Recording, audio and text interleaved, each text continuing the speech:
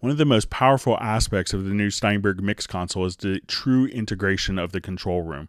In previous versions of Cubase, this was always a separate mixer and very underutilized by most users.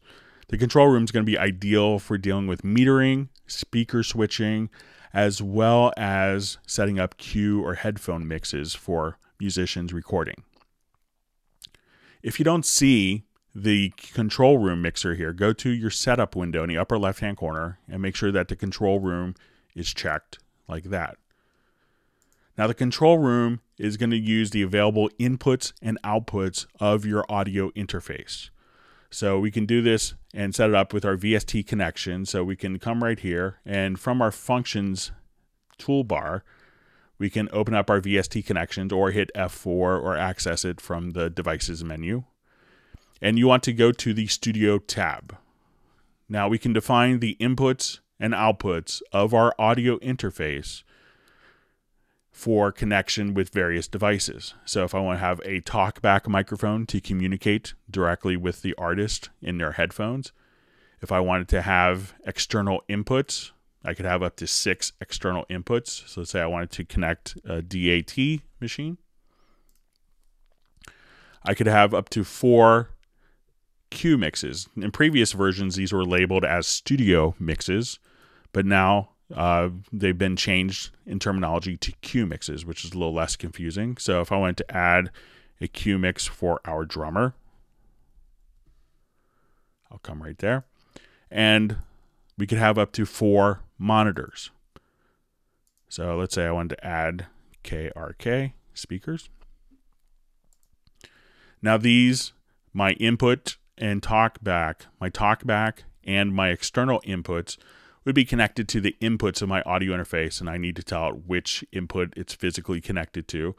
My outputs can be routed for my cue mixes as well as my monitors directly from the outputs of my audio interface. Some interfaces, like the MR816 series, you could route directly to the headphones on the unit itself or route it to headphones, and then feed it into a headphone amplifier. So once you have the connections made, one thing to be aware of is that to make sure that you don't have the outputs defined as well. So you want a connection here, but you want it to be not connected. Otherwise, the signal can get double bust. There is a preference to prevent this. So uh, if you're wondering why you can't set the connection there, if you go to your preferences and then select control room, there's a selection here for exclusive device ports for monitor channels. So that will kind of prevent some confusion there. So something to be aware of. Now, one of the things that's really been enhanced with the control room in the mix console is the addition of great metering options. So we'll go ahead and kind of play back our project. We'll jump back here.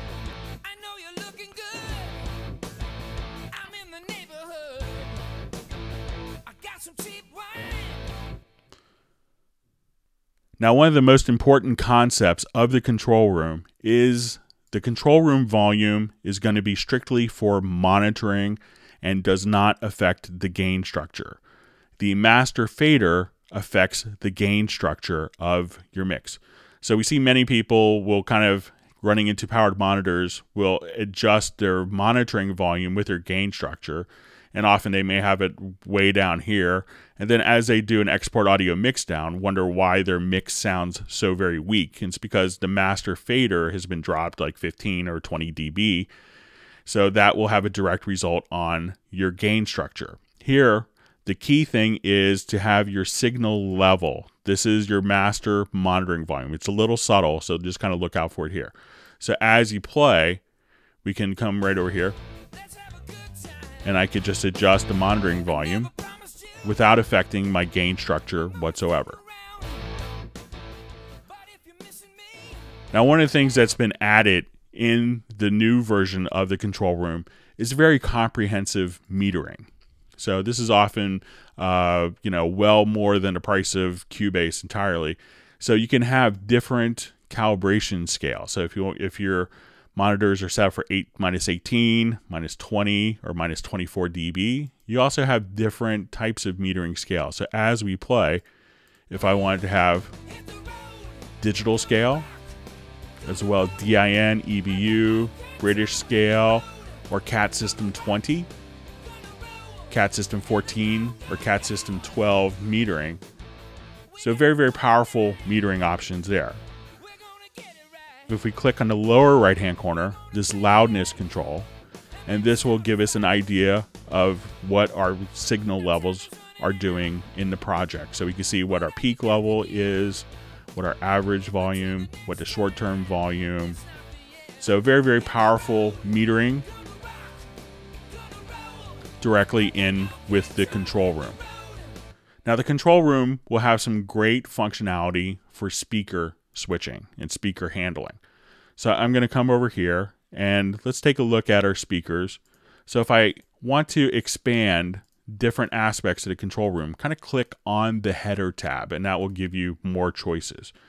So if I'm in my control room section here and I'm playing my song, we can now just play our song. And let's say I wanted to dim the levels just to have it softer. And then I could actually set my listen dim level right there. So if I want to listen to it kind of at full monitoring volume or drop it down by minus 20 dB.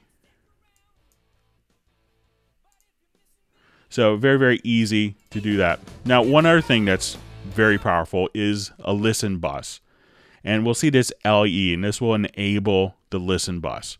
Now, if I wanted to listen to a track, but not necessarily solo it, but still hear it within context, what I could do is I'll take my bass track, and as we play this, we could click on the L. And what that'll do is that will actually dim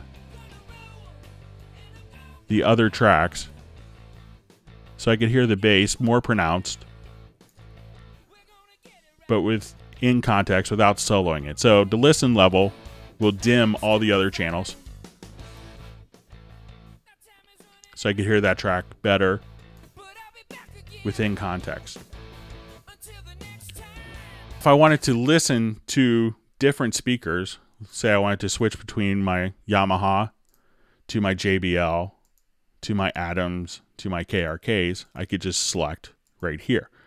If I have different surround configurations like 5.1 to stereo to mono, I also have a full mix convert plugin so that I could down mix from stereo to mono or 5.1 to four channel surround or 5.1 to stereo or mono.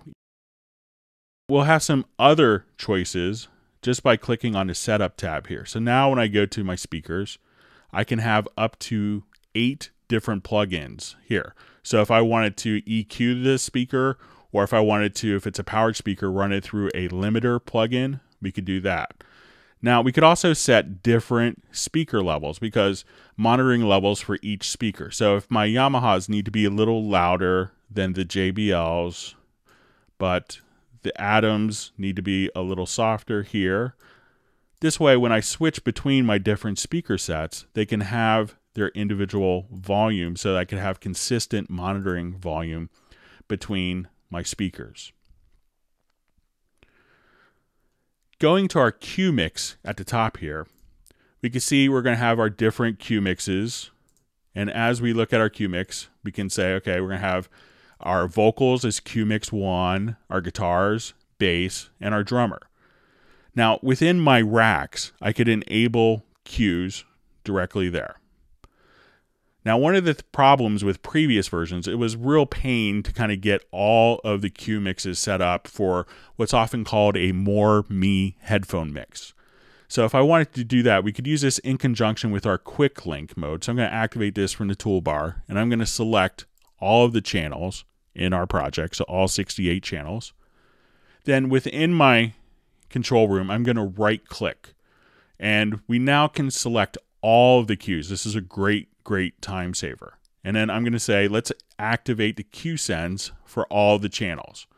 So this will be my vocal cue mix, my guitars, bass, drums. So if I wanted to send more bass to the vocalist, I could just adjust that level. Let me bypass my quick link. You could just send more of this channel to the different cue mixes. Now, that's very tedious if you want to do it one by one, especially on a large project. So I'm going to enable my quick link again. And then from all cues, we'll just right click there. I will now say, let's use the current mix levels. And then it's going to set the values there. Then I'm going to right click again. And what that's going to allow us to do is what I want to do is now come right over here and use the current pan settings. So we'll do that. So now if I wanted to do a more me mix for the drummer, I'm going to select all the drum parts here, hold down a shift key and still have the quick link engaged or hold down shift plus alt or option. So now my drum mix is in QMix 4. So I'm going to take all these channels and then add more drums to the drummer's headphone mix. I'm going to select the guitar parts. So we'll come right here, select all the guitars. And I want to send that more into headphone mix 2. So now if I wanted to, within my actual control room, listen to the independent cue mixes, I can also come right here and I'm listening currently in the control room to my mix, which is the mix from the faders here. So as you play, if I wanted to hear the drummer's cue mix, I click on Q4 and go to Q2.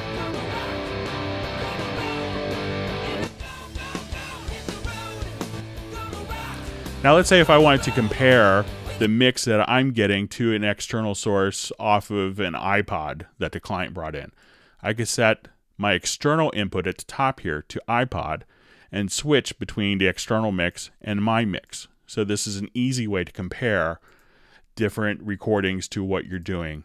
So, or if you wanted to listen to a half inch tape machine or off of a DAT or directly from DVD.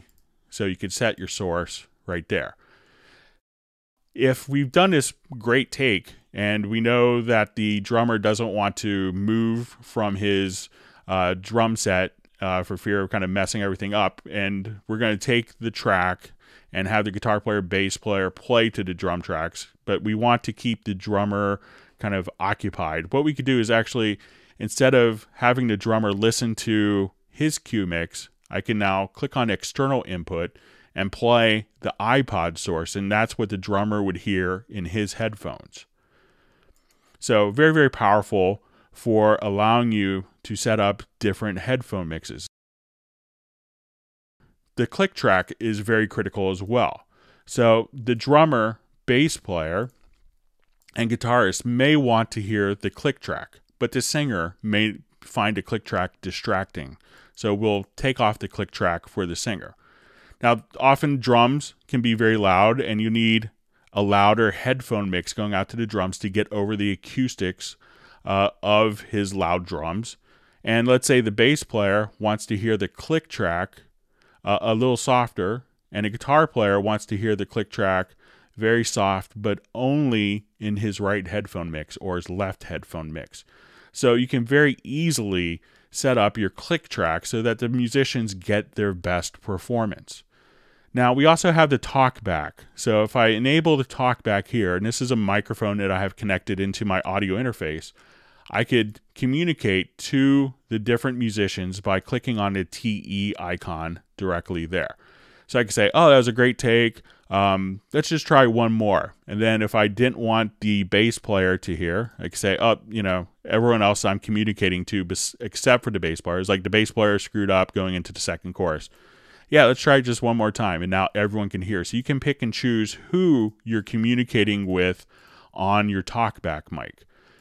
Also within the control room, if we go to our setup, we can click here on our different cue mixes. If our singer wants to hear reverb in their headphone mix, we can now come over here and just as a plugin, they want to hear the REVerence reverb. We can now just double click. And within the cue mix, we can have up to eight insert effects for each individual cue mix as well. So if we wanted the guitar player to hear more reverb or delay, or we want to have a compressor on the headphone mix of the bass player. So, very, very comprehensive. But the most important thing is all these settings, and once you set up the powerful cue mix, once these settings are saved up, they're stored directly in your project. So if you have the Magic Cue Mix, you can open it up a week later or a year later and have the same exact Cue Mix and have the same environment. So you can see how incredibly powerful the software control room is for handling your metering, speaker switching and management, as well as Cue Mix and headphone mix for the artist.